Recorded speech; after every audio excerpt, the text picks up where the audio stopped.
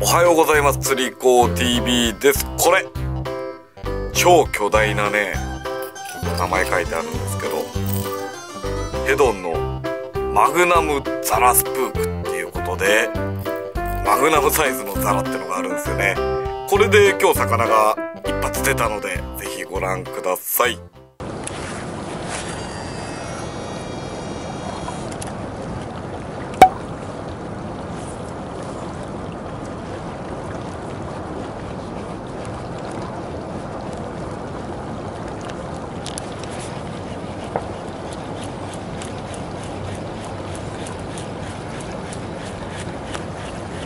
あごめんなさい。加山さん。ちょっ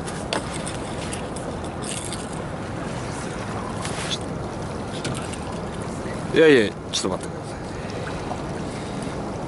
い。すいません。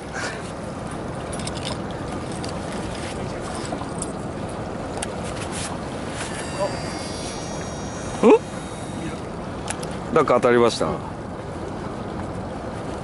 早いかい？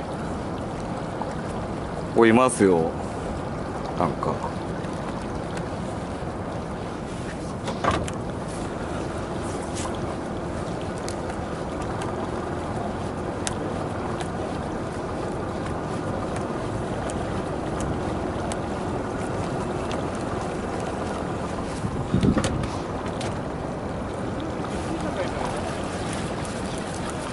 結構こういう釣りやるのに弦が低くないとアクションが決まんないですよね。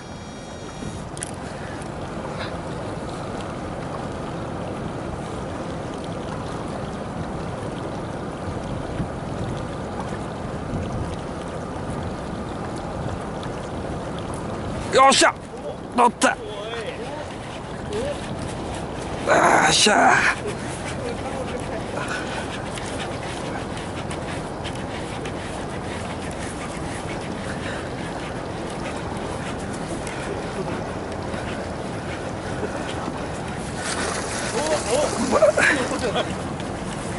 まあ、ちいけっか。よ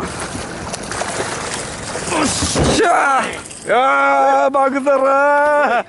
来たー。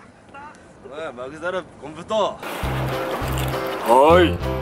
朝一からでっかいの来ましたよ。マグザラで。綺麗な鈴木。ね。こんなでっかいルアーで。釣れちゃうんでね。鈴木レストシーズン突入です。よしねえバッチリいいとこかかってる。60センチぐらいだけど腹パンパンですね。じゃあ逃がします。はいというわけでですねちょっと暗い時間帯だったんで水柱とか見えづらかったかと思うんですけどもこんな感じのちょっとオールドカラーチックで渋い色なんですけどね。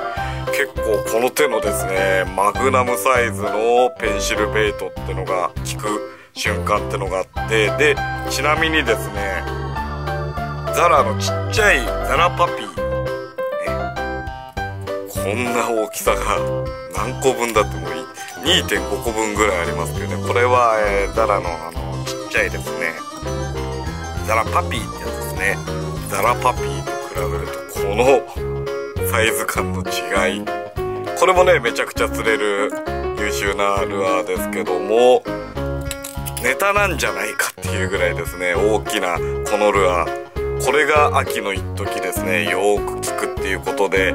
だいぶですねまあ例えばボラの子供であるとかあとはこの城とかですね。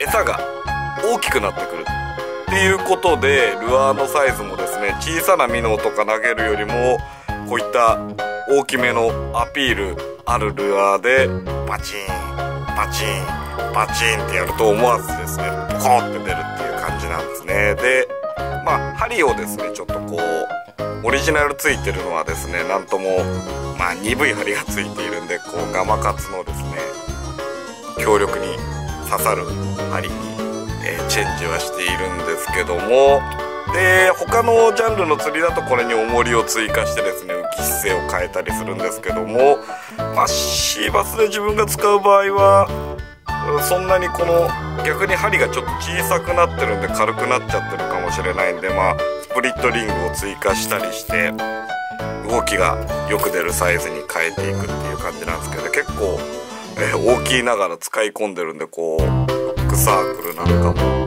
だいぶついてきて、え、かっこよくなってきたんですけどもまだですね12月ぐらいまでは、え、チャンスあるんじゃないかなってと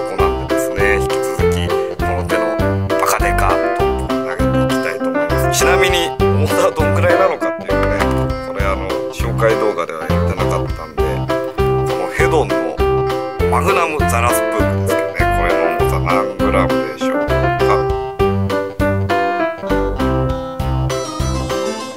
77.4g